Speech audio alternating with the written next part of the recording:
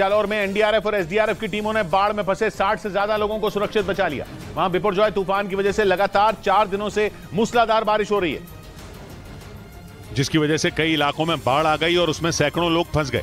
इस बीच एनडीआरएफ और एसडीआरएफ को जालौर के बिशनगढ़ में एक साथ डेढ़ सौ लोगों के बाढ़ में फंसे होने की खबर मिली। लेकिन चारों तरफ़ पानी भरने से वहाँ तक पहुँचना बेहद मुश्किल था। ऐसे में राहत और बचाव दल की टीम पानी में ही कई किलोमीटर पैदल चलकर उन लोगों तक पहुँची और इस तरह उनकी जान बचाई गई। हालाँकि अब भी इस इलाके में कुछ लोगों के फंसे होने की खबर है जिन्हें बचाने की मुहिम जारी है।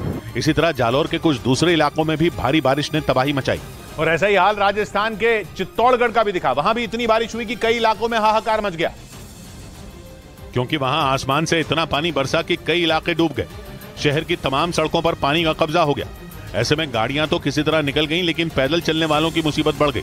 वहीं अजमेर में भारी बारिश की वजह से बिगड़े हालात के बीच कुछ लोग जान जोखिम में डालकर मछलियाँ पकड़ते नज़र आए। लगातार हुई बारिश से वहाँ की आना सागर झील में पानी का स्तर इतना बढ़ गया कि वो नहरों के ज़रिए कई इलाकों तक पहुँचने लगा।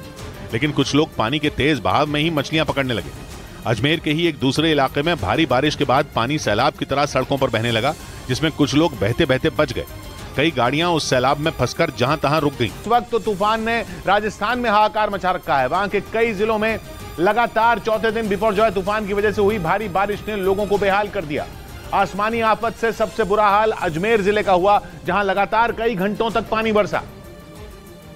जिससे पूरा अजमेर जिला बारिश के पानी में डूब गया। चारों तरफ़ पानी का कब्जा हो गया। सड़कों पर गाड़ियों के पहिए डूब गए। जगह जगह गाड़ियाँ फंस गईं। दिन भर बादल छाए रहने की वजह से साफ़ साफ़ दिखना तक बंद हो गया। ऐसी स्थिति में लोगों ने दिन में भी अपनी गाड़ियों की हेडलाइट ऑन रखी, लेकिन सबसे बुरा हाल अजमेर के निचले इलाकों का हुआ, जहाँ कई घरों में बारिश का पानी घुस गया, जिससे लोग अपने ही घरों में कैद हो गए। पानी भरने से गाड़ियाँ निकालने में भी लोगों के पसीने छूट गए। पैदल चलने वालों की हालत और खराब हो गई। भारी बारिश की वजह से कुछ जगहों पर मकानों की छतें में गिर गईं। और राजस्थान के बाड़मेर में भी भारी बारिश ने कहर बरपाया। वहाँ इतनी तेज बारिश हुई कि कई इलाकों में बाढ़ जैसे हालात बन गए। जिससे कई गाँवों का संपर्क पूरी तरह टूट गया। लोग जहाँ तहां फंस गए क्योंकि उनके निकलने के सभी रास्तों पर पानी भर चुका था। ऐसे में एसडीआरएफ की टीमों ने कई इलाकों में अभियान चलाकर लोगों का रेस्क्यू किया। बाढ़ जैसी स्थिति में फंसे लोगों को निकालकर राहत दल की टीमों ने उन्हें सुरक्षित जगहों तक पहुँचाया। ये मुहिम लगातार जारी रही क्योंकि बाड़मेर के कई इलाके भारी बारिश की वजह से डूब गए। बड़े बड़े अधिकारी भी दिन भर रेस्क्यू ऑपरेशन से जुड़े रहे क्योंकि वहाँ बहने वाली सुकड़ी और लूणी नदी का जलस्तर इतना बढ़ गया कि उसने आसपास बसे कई गाँवों को डुबो दिया। नदी का जो बहाव क्षेत्र है काफ़ी तेज है।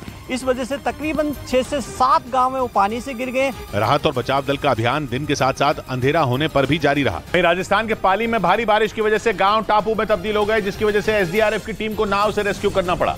पाली में तेज बारिश के बाद वहाँ की एक नदी उफान पर आ गई। जिसकी वजह से रिहायशी इलाकों में पानी घुस गया और लोगों के कच्चे मकान पूरी तरह तहस नहस हो गए। वहीं पक्के मकानों को भी भारी नुकसान हुआ। पूरी ये ढानी पानी के अंदर डूबी है।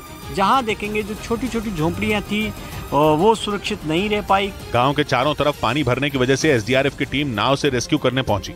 बताया गया कि तेज बारिश की वजह से नदी उफान पर आ गई और कई इलाकों में आठ फीट तक पानी भर गया जिसकी वजह से लोग अपने ही घरों में फंस गए। समंदर की तरह नज़र आ रहा आप देखिए कि किस तरीके से बिफरजोय तूफ़ान ने कहर बरपाया भारी बारिश हुई। कई किलोमीटर का सफ़र करने के बाद गाँव पहुँची एसडीआरएफ की टीम ने नाव से 25 लोगों का रेस्क्यू किया। गाँव वालों ने बताया कि वो पिछले 36 घंटों से पानी में फंसे थे और मदद का इंतज़ार कर रहे थे। उधर राजस्थान के माउंट आबू में तूफ़ान बिपर जॉय ने भारी तबाही मचा दी। वहाँ पिछले तीन दिनों से जारी मूसलाधार बारिश ने लोगों की परेशानी बढ़ा दी। क्योंकि भारी बारिश के साथ चल रही तेज हवाओं में कई पेड़ धराशायी हो गए।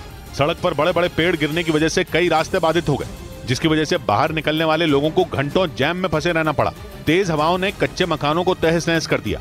किसी की छत उड़ गई तो किसी कच्चे मकान की दीवार ही गिर गई, जिससे कई लोग बेघर हो गए। बेहिसाब बारिश की वजह से माउंट आबू के नदी नालों का जलस्तर भी बढ़ गया, जिसकी वजह से सड़कों पर सैलाब बहता दिखा।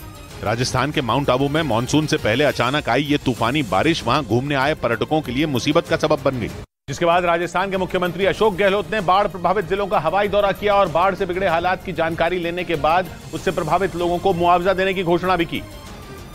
क्योंकि राजस्थान में पहली बार मानसून से पहले बाढ़ जैसे हालात पैदा हो गए और गुजरात से आए तूफ़ान बिपरजॉय ने राजस्थान में हाहाकार मचा दिया।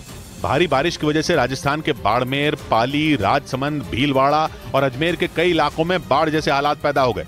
जिसके बाद मुख्यमंत्री अशोक गहलोत ने तूफ़ान से हुए नुकसान का जायजा लेने के लिए बाढ़ प्रभावित इलाकों का हवाई दौरा किया और उससे प्रभावित हुए लोगों के लिए मुआवजे का ऐलान किया।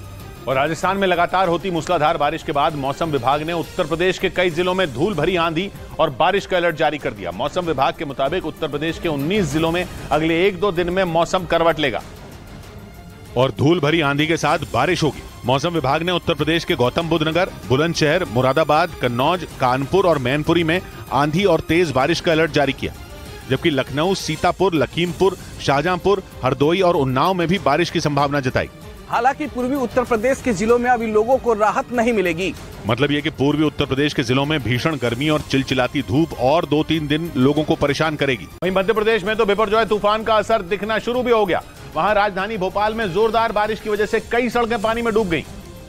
जिससे लोगों की परेशानियाँ बढ़ गईं। सड़कों पर पानी भरने की वजह से आने जाने वाले लोगों को मुश्किलों का सामना करना पड़ा। मौसम विभाग के मुताबिक राजस्थान के करीब वाले मध्य प्रदेश के कई जिलों में बिपरजॉय तूफ़ान का असर देखने को मिल सकता है। इस दौरान ग्वालियर, चंबल और उज्जैन में भी भारी बारिश का अनुमान जताया गया।